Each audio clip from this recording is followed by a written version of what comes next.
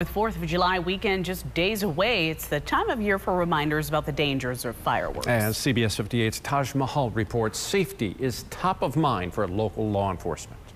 From homemade explosives to commercial store-bought products, Milwaukee police giving us a visual warning of the risk involved.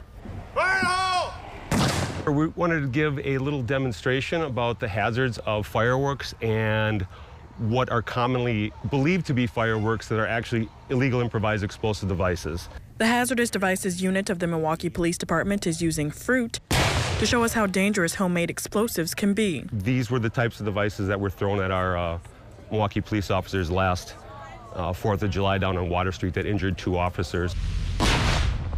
Take a look at the damage left behind, showing just how powerful these homemade explosives can be. Someone's making these in their basement, garage, wherever they can put whatever they want in them. Police want to make sure no one mistakes these dangerous explosives for fireworks. The telltale sign of homemade explosives, as you can see on these, are the hot glue marks.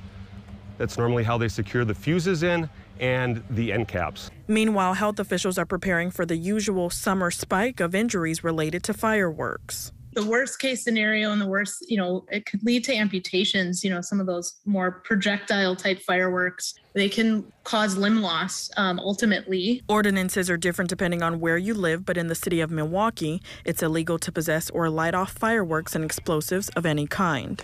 There's uh, citations and everything that gets issued all the time and fireworks that get confiscated all the time. In Milwaukee, Taj Mahal, CBS 58 News.